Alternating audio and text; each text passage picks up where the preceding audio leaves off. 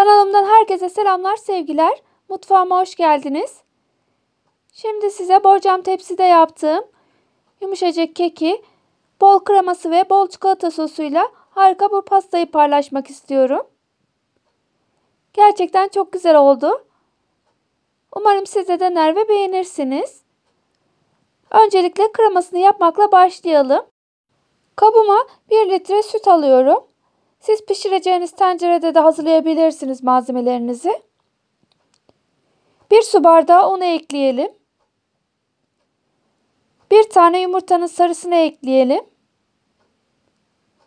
Şöyle bir karıştırıyorum. 1 kaşık da nişasta ekleyeceğim ben. Bu kremayı ben kendim hazırladım bu şekilde. Çok güzel oldu. Lezzeti de harika oldu. Pişirebilir ya da başka bir krema hazırlayabilirsiniz. Ama bu kremayı tavsiye ederim. Gerçekten çok güzel oldu. Şimdi karıştırdığım malzemeleri bir tencereye alıyorum. Orta ateşte pişirmeye başladım.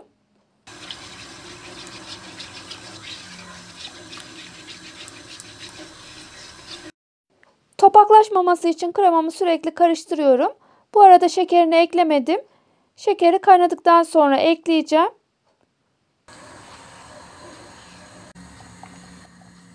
Kremam kaynamaya başladı. Bir su bardağı şekerimi ekliyorum. Biraz daha karıştıralım. Koyulaşsın. Kremamız kaynadıkça birazcık içinde topaklaşır gibi oluyor. Ama korkmayın. İyice karıştırıp biraz daha koyulaşınca pürüzsüz hale geliyor.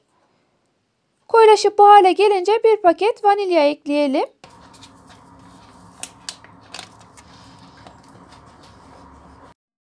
Bir iki kere karıştırıp ocağımızın altını kapatalım. Ve bir yemek kaşığı da tereyağını ekleyip biraz daha karıştıralım. Yağımız içinde erisin. Daha sonra kremamızı ocaktan alıp soğumaya bırakalım. Arada bir de karıştırmayı unutmayın.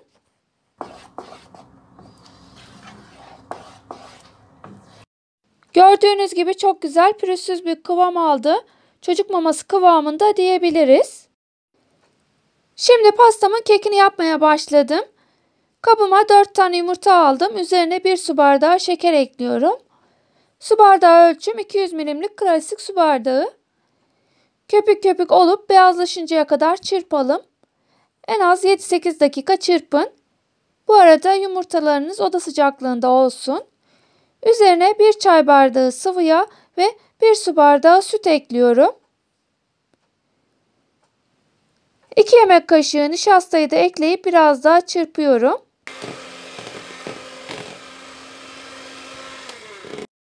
Kontrollü bir şekilde yavaş yavaş unu da ekleyelim. Ben toplamda 2,5 su bardağı un ekledim. Un miktarı yumurtanızın büyüklüğüne ve ununuzun kalitesine göre değişebilir. Yavaş yavaş ekleyin.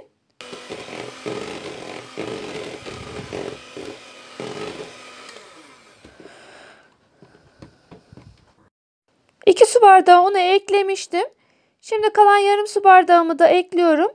Üzerine bir paket kabartma tozu, bir paket de vanilya ekleyip artık spatula ile karıştıracağım.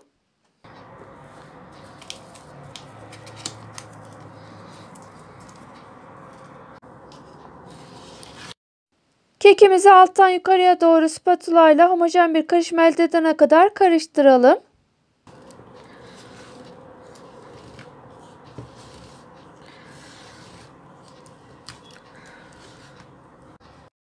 Dikdörtgen borcamımın tabanını tereyağıyla yağladım. Kek hamurumu döküyorum.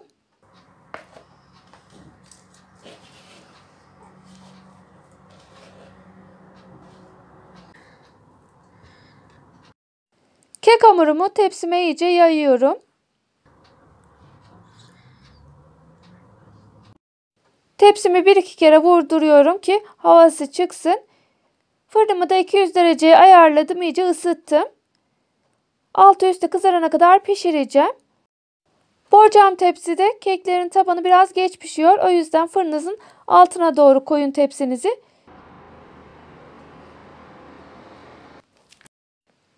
Bu arada kremam da soğudu. Üzerine bir paket krem şanti ekliyorum. Ve mikserle çırpıyorum. Soğudukça kremam biraz daha koyulaştı. O yüzden ben yarım çay bardağı da süt ekledim.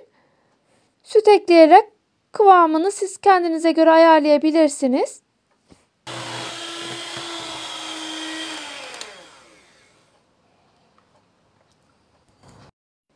Kekim de fırından çıktı. Biraz ılıdı. Gördüğünüz gibi yumuşacık oldu. Eğer kekinizin sert olduğunu düşünüyorsanız bir su bardağı sütü kekinizin üzerine gezdirebilirsiniz. Kremamın hepsini kekimin üzerine döküyorum. Kremamın yoğunluğu, kıvamı, lezzeti harika oldu. Kekimle beraber de muhteşem. Üzerine iyice düzeltelim.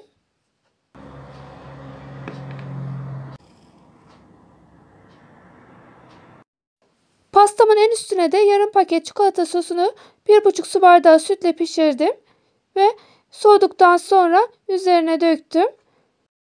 Ben mara suyuyla çikolata eritip onu da dökebilirsiniz. Ya da sadece kakao serpin.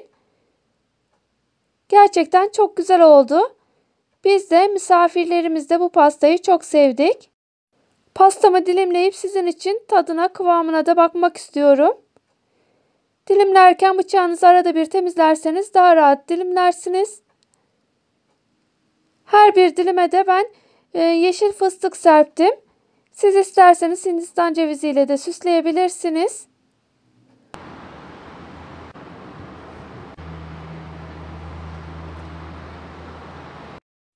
Tarifimi beğendiyseniz beğeni yapmayı, yorum yazmayı ve paylaşmayı unutmayın. Bol kreması, bol çikolata sosuyla yumuşacık kekiyle harika bir pasta oldu. Kanalıma abone değilseniz abone olmayı ve bildirim zilini açmayı unutmayın. Beni dinlediğiniz, videomu izlediğiniz için teşekkür ederim. Başka tariflerde, başka lezzetlerde görüşmek dileğiyle. Mutfağınızdan bereket hiç eksik olmasın. Sağlıcakla kalın. Hoşça kalın.